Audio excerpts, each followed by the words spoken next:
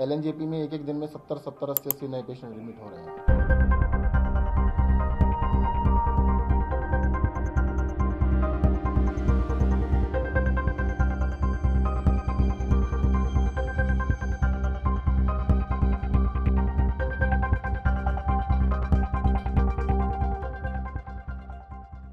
सभी लोगों से अपील भी है, निवेदन भी है कि बहुत ज़रूरी हो तभी घर से निकलें और कोविड अप्रोप्रिएट बिहेवियर का पूरा पालन करें।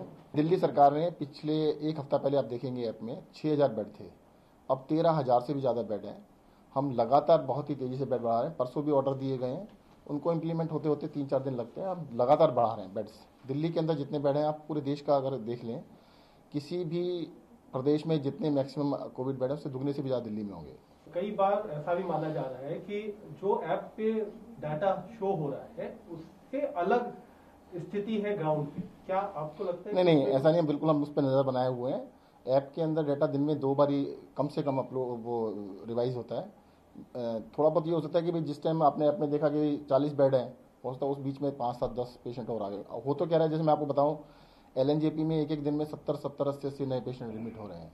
जी उसमें आपके राजीव गांधी में कल रात को सत्तर से ज़्यादा पेशेंट रात रात में एडमिट हुए हैं। तो उसको अपडेट होने में सुबह अपडेट होगा। उसके आप ऐप देख के ही जाएँ, उससे पहले, और फ़ोन नंबर दिए सबके। हर हॉस्पिटल का ऐप के अंदर नंबर दिया गया। आप फ़ोन पे बात कर लीजिए चलने से पहले।